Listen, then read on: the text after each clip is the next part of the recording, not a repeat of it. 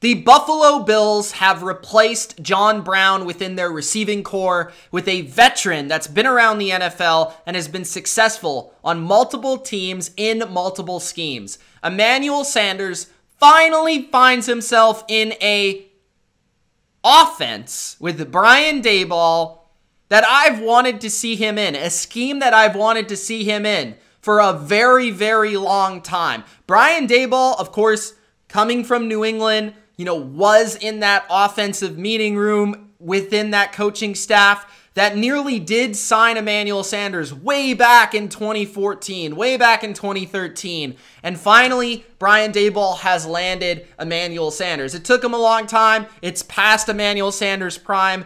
But what I'll say about Emmanuel Sanders is he will give you a very nice complementary wide receiver a player that can play outside, a player that can play inside, a player with versatility. He doesn't have the quickness, he doesn't have the speed, he doesn't have the suddenness that he used to have, but he's still a quality possession receiver. He's still experienced enough, savvy enough to make plays underneath the defense and break the odd tackle, get the odd first down, score the odd touchdown. Manuel Sanders was very productive for San Francisco on their way to the Super Bowl last year.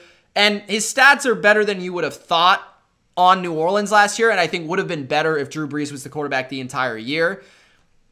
I am not a huge Emmanuel Sanders guy at this point in his career. I used to love Emmanuel Sanders. Like Emmanuel Sanders was one of my man crushes at this position, you know, a few years ago.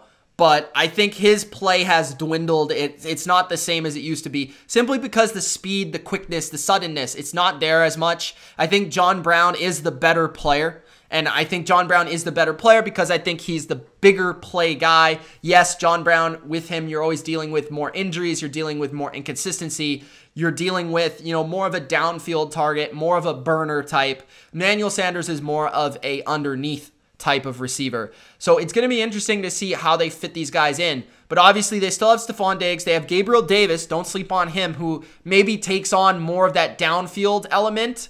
And then you have Cole Beasley, Emmanuel Sanders underneath. And I like Emmanuel Sanders in this spot because I think he gives Josh Allen another underneath target, right? So you can use Stefon Diggs more as the downfield target. You can use Emmanuel Sanders more as an underneath complement to Cole Beasley. In a similar way to how New England used to use like Julian Edelman and Danny Amendola. So because both of these guys have the experience of playing within the slot, you know, you can interchangeably play these players and kind of have them run the similar or the same route tree. At the same time, you can have Emmanuel Sanders line up on the outside. Say Stefon Diggs misses a game. You can you can rely on Emmanuel Sanders to play that spot. You can rely on Emmanuel Sanders to play the X, the Z, or in the slot. So I think he gives a lot of versatility and I think he gives a lot of just comfort to an offense. He's not going to be a big play player like he used to be, but he's going to be a nice veteran presence that just gets the job done still. And we'll see. Maybe this year, you know, his play drops off significantly because I think it's gotten a little worse and worse over the last three years. But I wouldn't expect that playing with such a good quarterback in such a good offense. So Emmanuel Sanders to the Buffalo Bills. I also like the contract, very affordable for Buffalo. Let me know what you think about Emmanuel Sanders teaming up with Stefon Diggs and Cole Beasley in Buffalo.